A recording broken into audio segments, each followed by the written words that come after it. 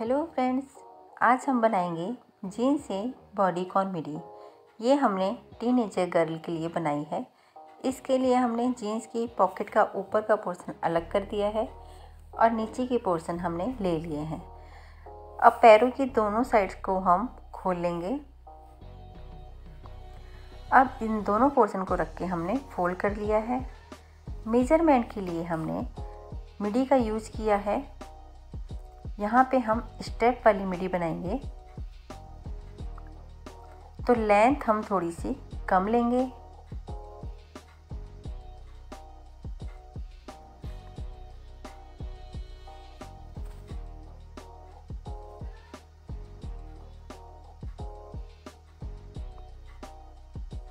हम इसमें total length लेंगे 32 इंच।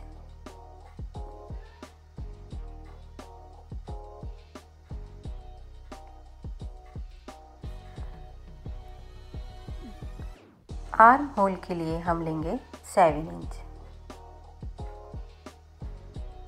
इसमें हम आर्म होल थोड़ा सा डीप रखेंगे, क्योंकि हम इसे टी शर्ट के ऊपर पहनेंगे।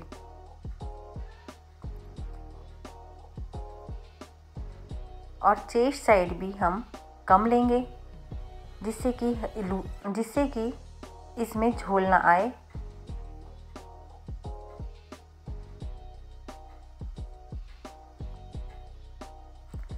अब आर्म होल की सेप देते हुए हम उसे कट कर देंगे।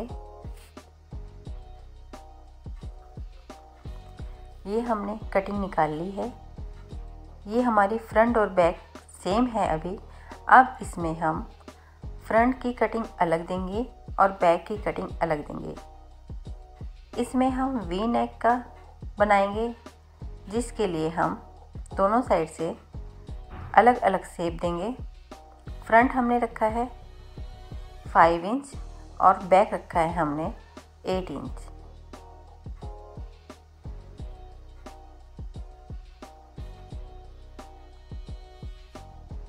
तो आर्म होल को सेप देने के लिए हमने वन इंच का कट दिया है और वी नेक इसमें हमने थ्री इंच दिया है। फोर इंच की इसमें स्टेप आ जाएँगी। अब इसे हम सिंगल फोल्ड कर लेंगे।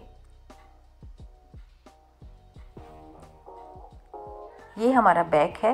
बैक हमने एक्रॉस बैक तक ही लिया है पूरा पूरा और कटिंग हमने नीचे की आर्म होल तक करी है।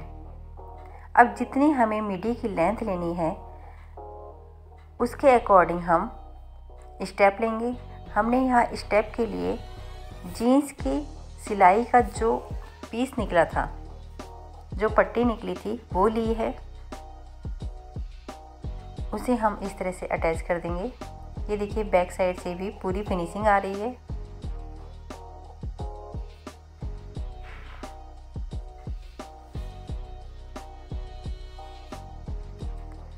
अब स्टेप को हम बैक साइड से भी अटैच कर देंगे। अब स्टेप के एंड को हमने मिडी के बैक पोर्शन से अटैच कर दिया है। अब हम मिडी की दोनों साइड स्टिच कर लेंगे। डेनिम फैब्रिक स्टिचेबल होता है, इसलिए ये किसी भी साइज़ में फिट हो जाता है। ये देखिए, हमने नीचे से भी फोल्ड कर लिया है। ये बहुत ही खूबसूरत लगती है।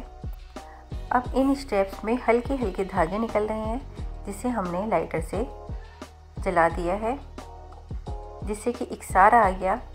अब हम इसमें बटन लगा देते हैं और हमारी मिडी रेडी है।